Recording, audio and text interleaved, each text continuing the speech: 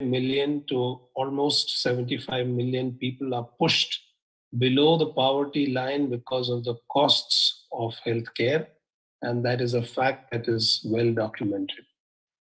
It is also true that cost inflations that are natural year on year will affect healthcare as well. And we are at such a time when there is global inflation and it is going to translate into the costs of healthcare as well. All this is because there is an increasing dimensionality of healthcare as a business. In fact, it is more commonly referred to as health industry, not health service. And that may partly be the reason why the costs are climbing uncontrollably. I want to tell you two stories. This is a true story uh, about a man who was admitted in our hospital many years ago who had consumed about 15 ml of a very fatal pesticide. And he came in a state of shock. He was treated in a hospital for almost 30 to 45 days, and uh, he survived, although he had a tracheostomy and was a shadow of his own self. When he recovered and was ready to be discharged, he was given a bill which was almost uh, 2 lakhs. He looked at the bill, looked at his relatives, and said this please give me that same pesticide again because it is for reasons of poverty that I consume the first vial in the first place. It's a story that's loaded with the reality that we face. There are many people who get frustrated with the cost of healthcare as it's positioning itself at the current point in time. We also know of the story of a seven year old boy who had dengue and could not find access to four major hospitals in a metro a couple of years back. And he died, following which the shock was so intense that his parents jumped off from the seventh floor of a nearby building to their death as well. Affordability is the key question that we are addressing. It's good to know that we have almost 1.4 crores of people and uh, we are a young nation with 50% of our population below 25 years. Longevity has improved from 36 point something years at the time of independence to 70 years, which speaks highly of the healthcare reserve that we have developed over all these years. Unfortunately, out of pocket expenses for healthcare range from 68% to 75%, and it's one of the highest in the world. 1.3% of GDP, which is committed to the public expenditure of healthcare, is one of the lowest in the world. But there is a promise of that escalating to 2.5 shortly. In the healthcare ecosystem, 58% of uh, healthcare institutions are privately owned and house about 81% of doctors. There's a huge skew there, as you can see. 70% of urban and 63% of rural households depend on private care. And 55 million, as I said, are pushed into poverty every year. This is from the Public Health Foundation of India data. If we look at uh, health insurance, uh, from the 2021 statistics, about 514 million people are covered. The overall penetration has improved over the decade from about 15% to 35%. Uh, the direct premium that insurance companies have earned have been significant, 470 billion. Uh, but we still have about 64% of out-of-pocket expenses as we speak. And this is from a source called Statista 2022. So, what is the downside of self payment? It is this that most people find the cost of hospitalization unbearable. So unbearable that they have to sell their assets, they have to incur a lot of debts, which themselves become very unmanageable as they move on in their life. We can see this from large hospitals where in the surrounding vicinity there'll be dime a dozen pawnbrokers who uh, make a quick money out of desperate patients who sell their assets, their ornaments, etc., to meet the cost of healthcare that is just down the road. In the process of not being able to afford, there's also a neglect of uh, routine checkups, which everybody must do. They miss certain NCDs and serious diseases like cancer and land up paying more as the disease unfolds itself in them at a later date. There's also terrible drug compliance. People don't buy medicines if they are expensive, and they come to you with uncontrolled hypertension and diabetes. This is also the reason why people subscribe to alternate therapy, including quackery. As we move from cities to urban areas, they find that quackery brings them some relief, at least psychologically, or as a placebo effect at a much cheaper cost and undoubtedly they're, they are willing to take the risks of uh, quality compromises because they just don't have the money. Now what are these costs? And i bring you some collated figures which i've drawn from the net. An icu bed will cost anyone in a decent hospital from 30000 to 50000 rupees per day. Bed and nursing and the basic care. This is not inclusive of gadgetry like uh, ventilators and dialysis machines and support systems, it will cost much more. As an example, the cost of one of the most popular ICU drugs or uh, you know big hospital antibiotics, which is meropenem, will range from about 6,000 to 12,000 rupees a day for about 10 days if a full course is taken. And that is often more than the lifetime savings of a patient. A delivery will cost between 50,000 to 1,15,000 depending on the city and the type of hospital. The cost of three vessels stenting may vary from 5 to 12 lakhs. Bypass surgery, 6 lakhs. Ventilator may cost you 5,500 rupees a day. This gives you a picture of how bad it can be if an unfortunate patient has a combination of all these requirements, he's had a bypass surgery and is on a ventilator in an ICU for 10 days with an infection. Surely we can understand why cost escalation becomes a big disincentive for the delivery and acceptance of healthcare. There are various systems that uh, support subsidies or various systems that we must understand. Public hospitals, which offer free treatment but are grossly underpowered in terms of uh, equipment, uh, availability of drugs, so on and so forth. There are state sponsored subsidies, which are state bound, and they are also free, but they have their limitations as to what indications are, have been approved and accredited. The insurance in general has very poor penetration, about 35% and it has become essentially a package that is favorable to the upper class who can afford the blue ribbon premium for ancillary cover, etc. Private care, actually, with the insurance, caters to only about 5% of the Indian population. Must say that PMJ or the universal health coverage under the leadership of our Prime Minister has made uh, rapid inroads into offering a central government sponsored uh, security for health. It is improving, and the latest version has actually become more inclusive, more generous, and it's certainly a very promising, very broad based work in progress. And this we must note as maybe the game changer for uh, insurance as we speak. What are the things that actually cause uh, these uh, cost escalations?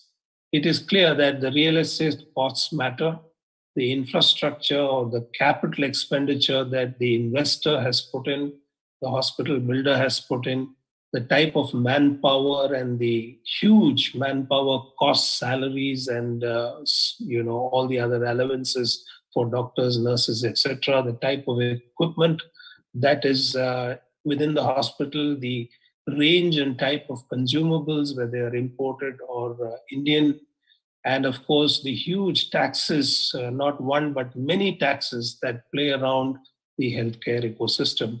All these contribute and converge onto the plate of a cost burden for the care provider.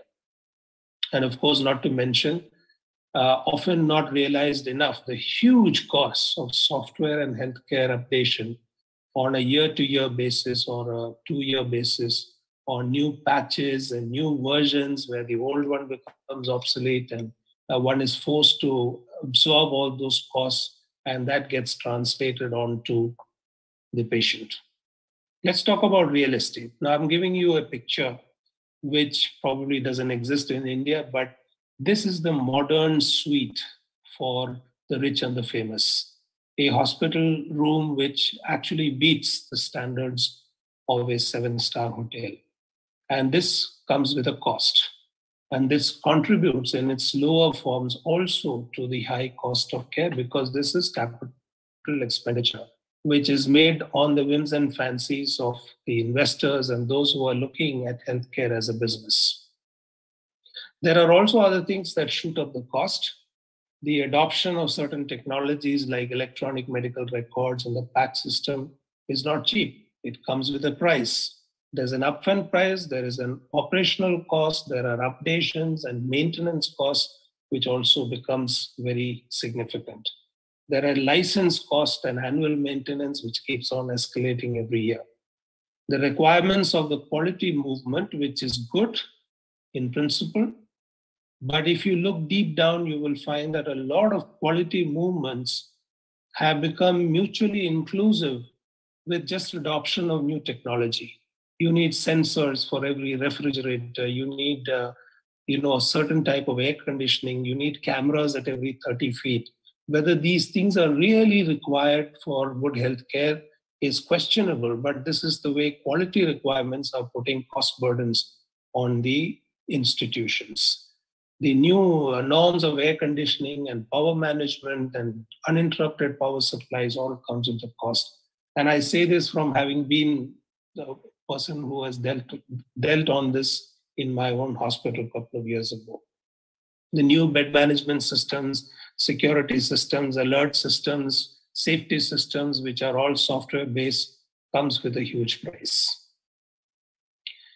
Just to give you some clinical uh, things of what escalates cost, the high-end antibiotics, uh, which uh, people are very easy to get on to any infection in the hospital, meropenem or levofloxacin or some of those costly antibiotics without ascertaining the logic of whether it is really needed for the patient. Oxygen, most people don't realize, is a very expensive drug, one of the most expensive drugs that we can think of. If you use it at four liters per ox per day for eight hours, it shoots up the cost of care the prescription of vitamins and tonics and protein supplements, which occupy a high emotional uh, position in the patient's mind, psychological dependence, comes with a price. It's often not required for an otherwise healthy person. The overuse of ranitidine and uh, you know drugs like omeprazole and esomeprazole, which I find every alternate patient is being given without rhyme or reason, it's become standard private practice is also something. And I'm just giving you two examples of uh, injudicious usage of drugs. The use of statins for mild uh, cholesterol elevations, the use of statins as preventive, as promotive, as curative, all these things do not stand to the test of evidence.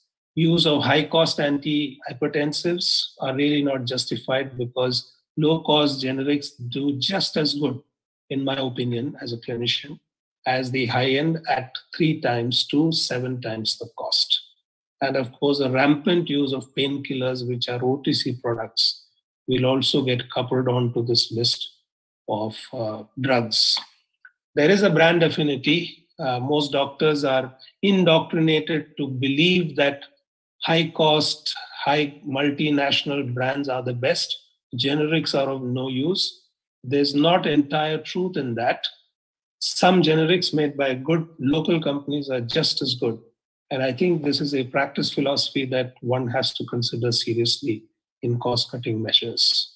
We also know of this uh, evidence based movement of changing baselines, which uh, keeps on reducing the baseline level of laboratory tests so that more and more fall into the abnormal bracket Cholesterol is one such example, lipid profile, sugars. Now, these are all meeting evidence. But there was a time when 140 LDL was not required to be treated with a statin because there was no statin. And the mortality with statin therapy to bring down LDL to 70 does not stand to reason as far as overall morbidity and mortality is concerned. Similarly, there are changing guidelines on diseases like obstructive sleep apnea. They're very quick to advise CPAP. But there was a time when such technology was not available. I'm not really sure whether it has really changed the number of people who have died with this particular syndrome. New technology like robotics, cardiac CT imaging, and CPAP, as I mentioned, the quality criteria which keeps changing. And of course, we saw as a, as a good example of the confusion of various drugs playing in the minds of people and doctors during the COVID pandemic. There was remdesivir, there was steroids, there was uh, um, molnupiravir, and so many drugs that were used at huge costs. It was sold in black and it created a hype.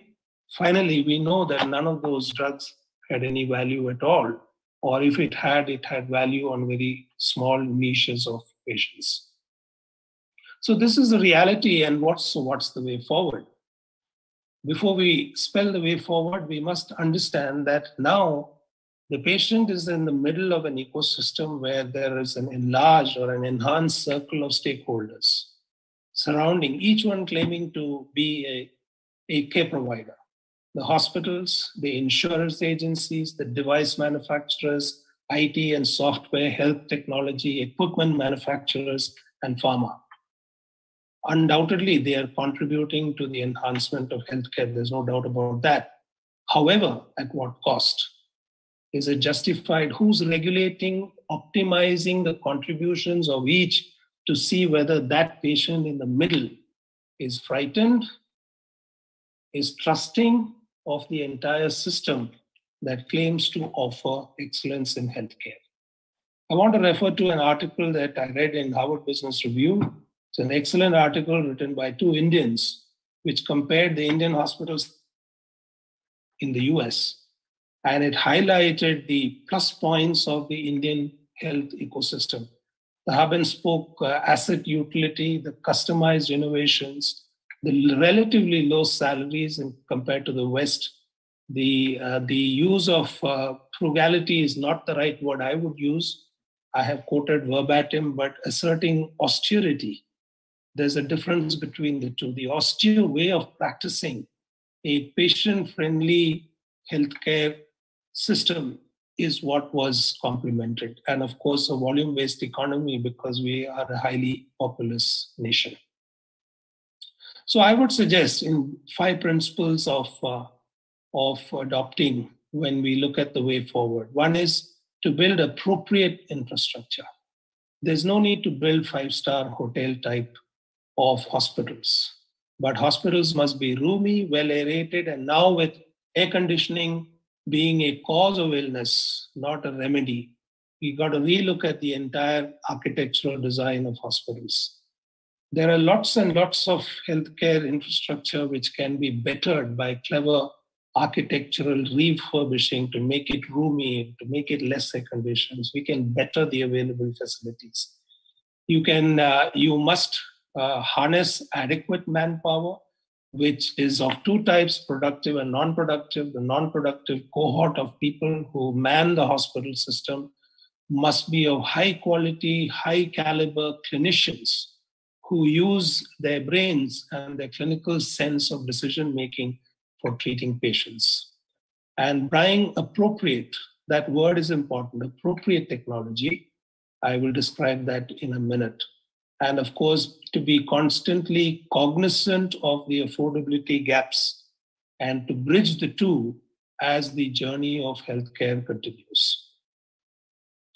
Specifically, we must curb on these the infrastructure capex, which includes which part of the city you want to buy land, what is the type of design that you're going to use, who's going to be your architect, who's the builder, and is there going to be a basement, is it backed by investors? Remember that investors are investors. The end points are very clear as far as they are concerned. And that has an impact on how you function. So one must be very careful when we create the health ecosystem. And that is why government and non-profits have got a better capex load than the other type of healthcare system. Manpower must be productive, as I mentioned. Equipment must be the best, not the latest. The latest, it's a myth if we believe that the latest technology is the best technology, not in healthcare. You may always find that what you use is just as good. So if there is a cost cutting culture, it must be evaluated by a special group to see is it really needed? Is it is the latest the best?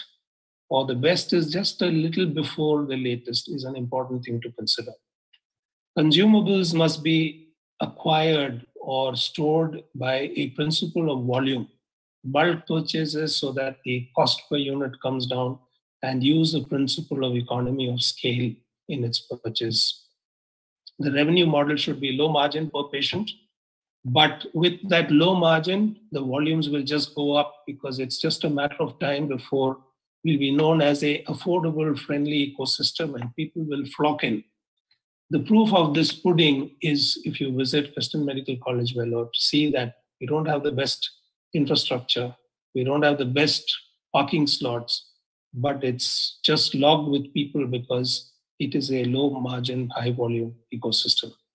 And of course, we must learn this strategy of how do we curb or reduce overheads in the system, whether it's manpower or equipment or sundry expenses. Over, overheads cause a hemorrhage of revenue in any hospital. Hospitals must be like this. Not exactly like this, but the concept of being airy and roomy and well ventilated without necessarily having chandeliers on the roof and carpets on the floor. This is just an example. Or in a general ward, it could be very simple and very dignified and very healthy as this, using natural resources for light and air. This doesn't look great, but this is a treatment room and I can assure you that this is just as healthy and will meet all the quality standards at one fifth the cost of a more posh five star looking treatment room. So there are other principles which uh, must be adopted. There are three or four hours. Let me go through that with you. The one first thing is the principle of reducing medical wastage the injudicious, generous splurging of consumables by junior doctors, nurses, you know, put on your scrubs, you put on your, uh, you know, take your mask off, go out, throw it off. Uh, use of uh, hand scrubs, maybe soap and water is just as good. It is expensive to buy those hand scrubs. If you buy them, you will know. Clinicians must learn to refrain from thoughtless over investigation overdiagnosis, overimaging, and overtreatment. Over-investigation will lead to overdiagnosis. It will also lead to overimaging because imaging is not so easy. Does every gallbladder stone need removal on an executive health checkup? I'm not too sure. But it does increase the cost of care. And of course, the overtreatment that is a consequence of that. This will not sell in the West but in India, we've always done reuse, recycle, not everything, but you can have protocols for the reuse and re- recycling of equipment that can be scientifically reused. And that must be done with due diligence protocols. Finally, it must tailor therapy to patient's need and pocket. This is a very important principle one of the first questions we must ask when the treatment is pronounced to the patient is look, how much can you actually afford for your heart treatment? Tell me honestly. We don't want you to sell your animals at home, your cows or your buffaloes. We don't want to sell your house, your property. What is it that you can afford without becoming a pauper in the process of becoming healthy? It's a very important question.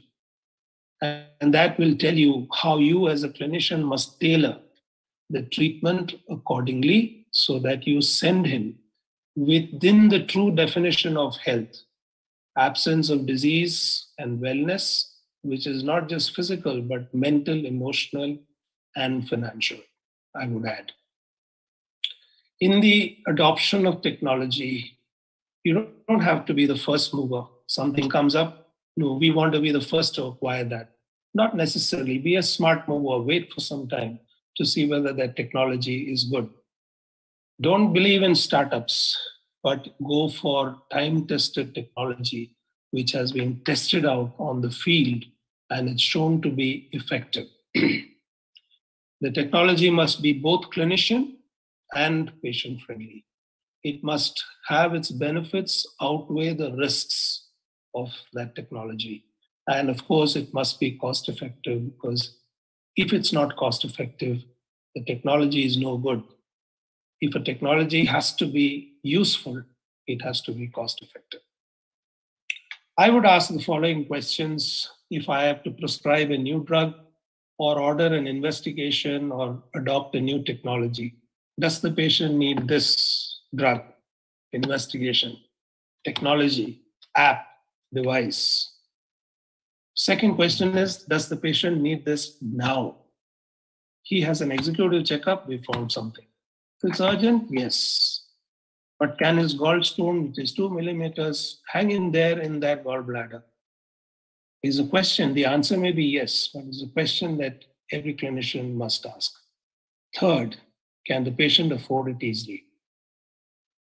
This has to be given respect, due respect that if I can't afford it, just like we all take what we can afford when we go to buy something, the same principle must apply. And it's a myth if we believe that if it's not costly, it's no good treatment at all. Finally, will it change my decision to treat him? Will it change his course of life, quality of life, and health for himself and his family? The truth is this that healthcare is stretched to its extreme limits. We all have friends and relatives who have been through ICUs during the COVID time, before and after the COVID time, and we must honestly confess that healthcare is stretched to its extreme limits as far as costs are concerned. Health business is growing at a CAGR of 22%. I'm sorry to say that healthcare is not. Because if you go to a hospital and see the misery, feel it, palpate it, it is certainly telling us that the pool of disease, the burden of disease is only growing. And we must respond to that as a very responsible fraternity of caregivers. Healthcare can be delivered at 50% of current costs. I'm not giving you an off the cuff there are calculations that show that if we use judicious clinical decision making, keep away unnecessary technology, keep away all the bells and whistles, we can cut the costs of healthcare, healthcare to 50% of the costs. Healthcare is no longer a primary domain of doctors. We need a large circle of enablers, surely but it needs to reinstate the primacy of doctors as far as the future policy making, the future design of healthcare is concerned, is my humble submission. Because healthcare is turning out to be a good measure of economic prosperity. And that is the reason why, in many countries, post COVID, the entire budgeting dynamic of those governments has changed, bringing health of its people on center stage. That's because healthcare denotes economic prosperity. Finally, I must say that healthcare must be three things it must be accessible, it must be affordable, and it must also be affable. No patient should get scared of the hospital. No patient should say, I do not want to go back to that doctor or to that hospital there must be a relationship that will be attractive for the patient to come back to the same ecosystem if he is forced to in his future years. Thank you.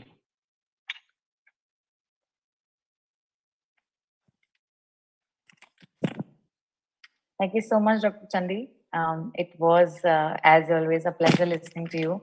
I think very rightly made certain points. Uh, we do have a couple of questions for you. Do we take those? Yeah, sure. Okay. So uh, you did talk about uh, affordability. So I would want to know about health insurance and how does that play a role here?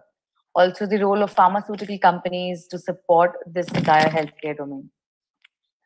Yeah, so you know, healthcare insur- health insurance, as I mentioned, has grown from a penetration 10%, I think, a decade ago to about 35%. I'm talking about private um, private health insurance which you buy, which I think is a tremendous stride. And uh, I'm uh, privy to the knowledge that the insure, health insurance companies are actually making a genuine effort to optimize the care and the cost benefits and the uh, reimbursement to make it patient friendly. So that's commendable that there is a move towards um, bringing the patient as the beneficiary and not the hospital or you know the care providing ecosystem. And I have no doubt that with uh, more and more health insurance uh, uh, group companies coming in, it will become more competitive and more pop- people will uh, subscribe to these uh, health insurance. That's on one side. On the other side, I know in Tamil Nadu, the state health insurance has been a big boon. Uh, I have seen people get benefited by a low cost angioplasty, which they could not afford, which the state has very generously given. It's a amazing formula that they have come out with, which has benefited. But you know, it is a corpus. It will drain out at some point in time. There is no recovery of that amount. So while it's very generous, I'm not sure how sustainable it is on a 20 year time scale. And as I mentioned, the PMJ Ayushman Bharat is actually a sponsored uh, insurance scheme, which I think uh, started with its uh, teething problem, but it's gaining critical mass and uh, it's becoming powerful. And I'm sure that it will penetrate uh, deep down into the urban and suburban areas, even rural areas of our country. So there's everything to smile about as far as uh, health insurance is concerned because there is a changed sentiment that it's uh, beginning to be very patient friendly and very patient oriented so that's commendable. Okay. A farmer, i am i honestly am not uh, very sure to um, speak very authoritatively but i know the concept is that they now are extending a what you call a kind of corporate social burden to also be partners in the you know the illness segment of that.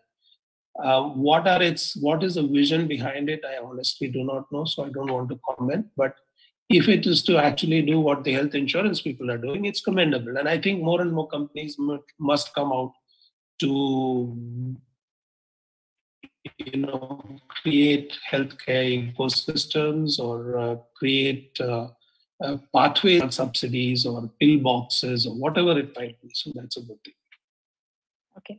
Um, moving ahead, uh, my next question is uh, so I have a question that I have received from the audience. Dr. Sudhir Pathak wants to know that how to improve healthcare services in rural areas.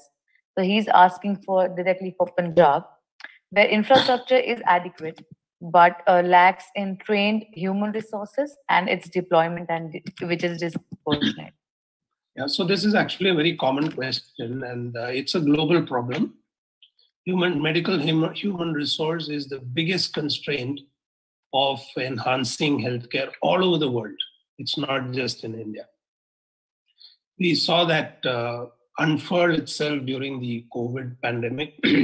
and post COVID, there are at least five reasons why the crisis has become worse. Partly because of a COVID phobia, partly because you know there's a migration of people. They don't want to get into intensive care areas etc so punjab is no different from up which is no different from bihar.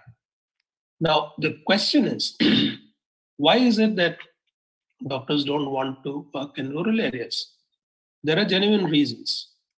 It is logistic difficulty. It is about where do i go for my own medical care if I have a heart attack or an injury. What about if they have children? Where do they go?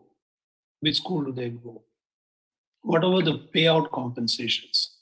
So these are structural problems of the, the way it's panned out. Whereas in a city, it's a self-giving, self-generating system. You work, you get a good salary, your lifestyle is good, children are taken care of. This is something that the government must address. I feel that anyone who works in a rural area must get a higher compensation. You try that and you will see there'll be a flood of people who will want to work. Create schools for children or crashes for children or create subsidies for children who can go to boardings nearby. Give them a vehicle, improve their quality of life. Why wouldn't they want to work in a more serene, tranquil, better aerated, better environment, beautiful part of the country? And that's the experience in Australia and that's in UK. Most people want to work in the country because their life is good. That's not the case as far as we are concerned. So there is a necessity to change the entire environment. And then you see a magic will happen. Thank you so much. I think very rightly answered. And I hope, Dr. Pathak, your answer, I hope you were satisfied with that answer. Uh, moving ahead, sir, I would want to know about government health policies, especially about where where do we see universal health coverage as a possibility in India, and where are we lacking currently? Yeah, so you know, universal health coverage, as as much as I understand, is a, is a uh, offshoot of what started off uh, or an enhancement of Ayushman Bharat, and they have built on the old, uh, you know, RSBY Rashtriya Swasthya Bima Yojana, which was, uh, you know, yeah, few years ago. So you know, it has it is like a fruit that is maturing, and uh, by 2030 they have spelled out a vision to align with the Sustainable Development Goals. You know, which is again a universal uh, need which has been mandated for all countries. now I know that uh, Ayushman Bharat was offering about five lakhs uh, for every in-hospital major event uh, I think it still still is the same, or it has probably been enhanced. But I think the highlight of uh, the universal health coverage is that it now covers 40% of the vulnerable population, which is a huge proportion of people. And there is a 20,000 rupees which is allotted for each episode, and the out-of-pocket expenses which they have found, and that's true, comes mainly for outpatient care from outpatient care, which most insurance uh, uh, groups uh, or policies don't cover.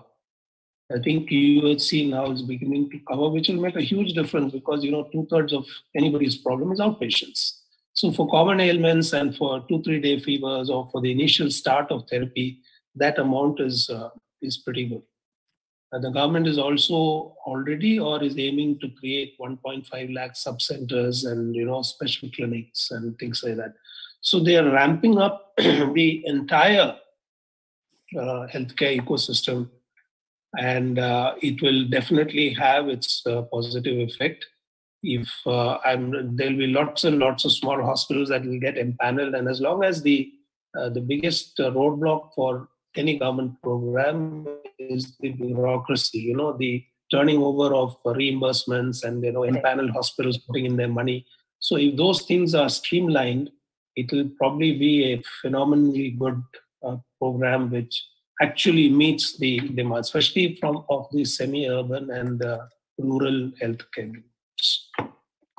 Thank you so much. Um, now brings me to a very important question and i think uh, we have been discussing this uh, to and fro but how do you see that the pandemic has taught us regarding in terms of quality of healthcare and its you know the management that we see in the country? I think the pandemic has taught us a lot and i so, think you know also... very... taught us a lot. Yeah it has actually exposed the that uh, if you ask me what is it that i have noticed? One is that you know our primary and secondary levels of care uh, there's a long road to calling it robust. Uh, that is what broke down. We realized that there is no primary care or not enough primary and secondary health care. And the learning from that is personally i feel that the effort of the government or the private sector whoever must be to ramp up that and it's not tertiary care. Tertiary care must grow. It will grow because tertiary care uh, stakeholders are in a more advantageous position. But the the hinterland of India, which was badly affected by lack of mobility, lack of access, lack of infrastructure, you know, was the biggest uh, victim of the COVID pandemic.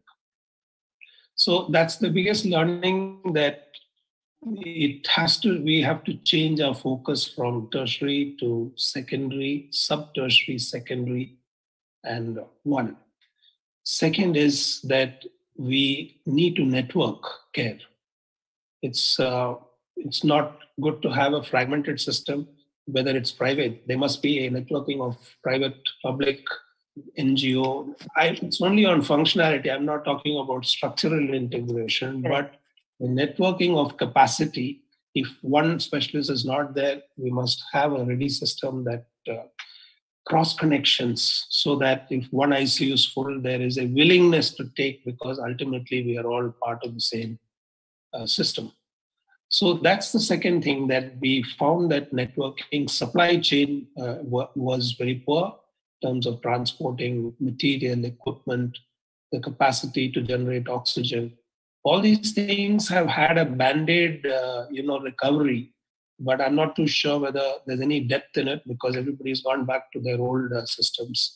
So there has to be a renewed energy put into integration and making it like a blanket of primary, secondary, and tertiary care throughout the country with the individual state machineries that are operational from state to state.